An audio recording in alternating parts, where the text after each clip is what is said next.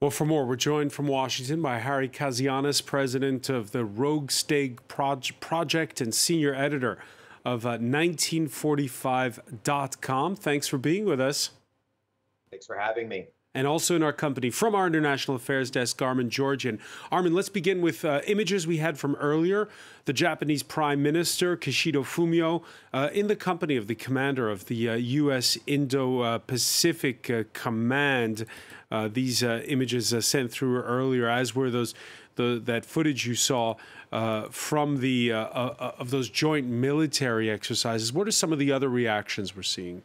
Well, since you mentioned Japan, uh, Francois, so uh, various defense and military analysts uh, being quoted in Japanese media, they're saying that uh, these missile uh, uh, alerts will help Japanese politicians to argue for an even bigger increase in the defense budget and a more proactive uh, defense policy. Uh, obviously, uh, with the anticipated fu- uh, uh, North Korean test that we heard about in Solange Mougin's uh, report there. Uh, apart from that, obviously strong words from uh, South Korea. Uh, officials there saying that North Korea will have to pay a price for this launch.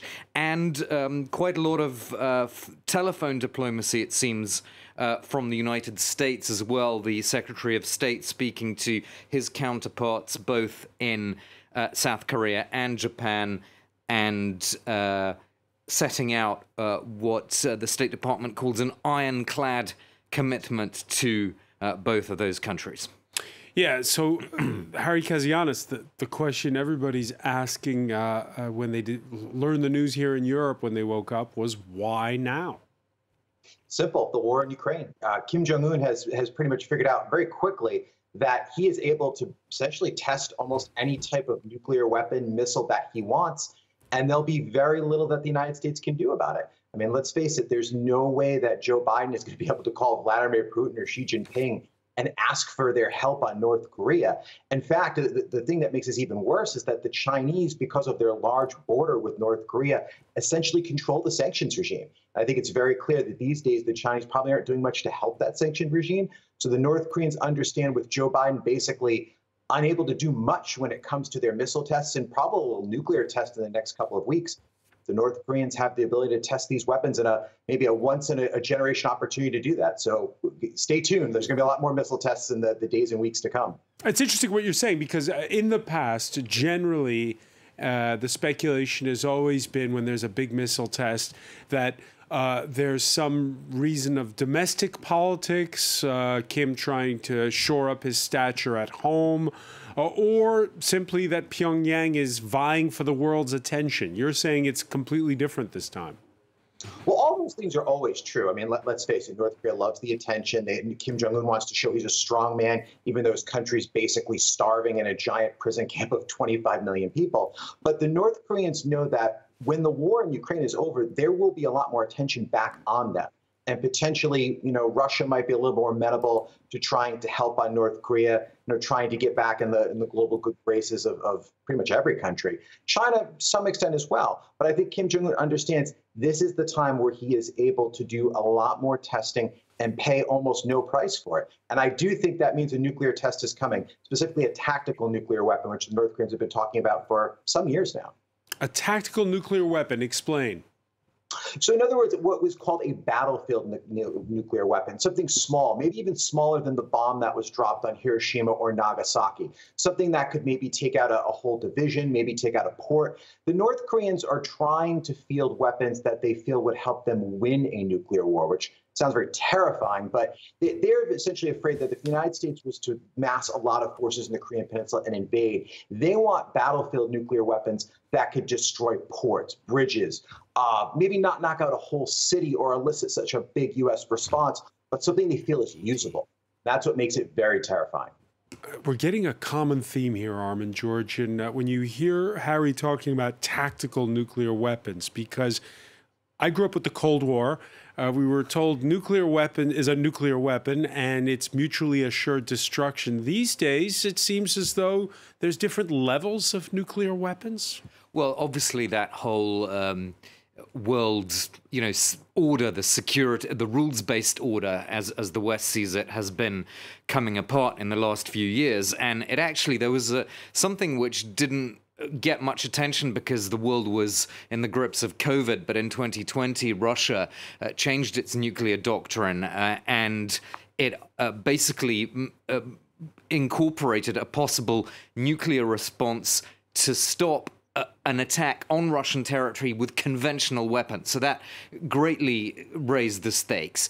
Uh, and obviously, this is why a lot of people have been worried about uh, the, these um, the you know Russian recognitions of the of the quote referendum results because then you know if uh, as it were, Russian territory is attacked. Could there be a nuclear response? But uh, it's not just Russia. You know, China, of course, is becoming a lot more assertive as well in uh, the case of Taiwan and the South China Sea. And all of this le has led to some soul searching among countries that have up until now subscribed to this idea of the non proliferation treaty. In other words, they can rely on bigger powers like the US to provide a nuclear umbrella, but that seems to be changing. So, for example, this survey that came out in South Korea a few months ago, where 71% of respondents said that South Korea should become a nuclear armed state. That's gives you a pretty good idea of how this whole world order um, is changing. And of course, countries will look at what's happening in Ukraine and say, well,